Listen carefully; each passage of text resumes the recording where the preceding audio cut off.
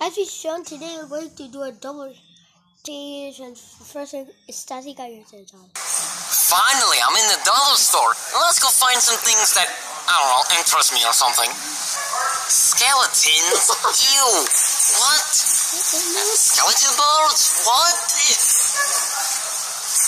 I'm creeped out and confused. Um, let's just move on.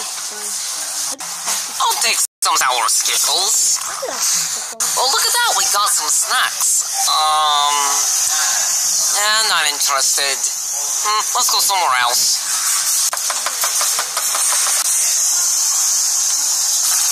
Eh, no, no, no, no. Okay, I give up. Let's just go. Well, I guess these have to do. Alright, let's get out of here now.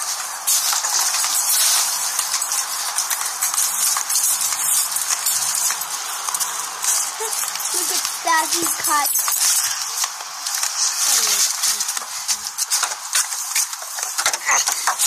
Ouch.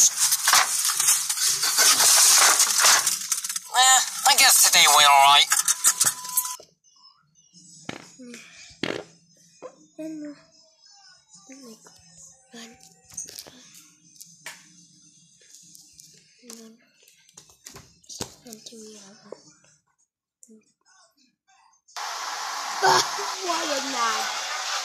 Why am? Hi, excuse me. Pwede po mag...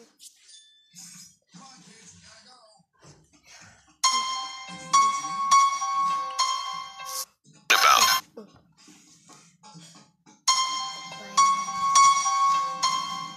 One day I was showering. My sister came into the bathroom and said, Don't open the curtains. She said that her friend was going to use the bathroom because she couldn't hold it any longer. I said, Okay. I knew someone was there because I heard noises. Then I heard the door close, so I came out of the bathroom. I asked my sister which one of her friends came. She answered, No one came over. What are you talking about? I got chills and I started to freak out. About two months later, I was sleeping in my parents' room with my mom and dad because I was scared to sleep alone in my own room. I woke up in the middle of the night. I sat down on the bed and then I saw something truly horrifying. I saw a lady in all white standing near the bedroom door, just watching me. I screamed and my parents woke up. They asked me what happened, and I pointed at the lady that scared me. They asked me what I was talking about because there was no one there.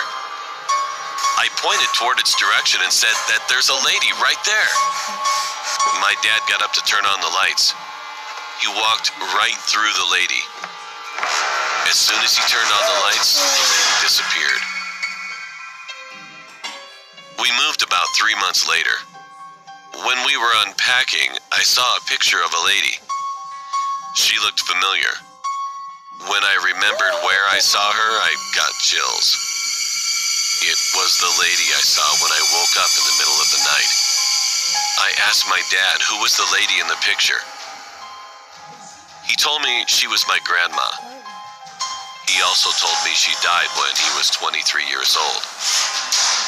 My dad was now at the age of 41 when he told me.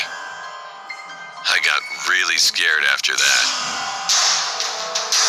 Now, when I wake up in the middle of the night, I try my best to go straight back to sleep.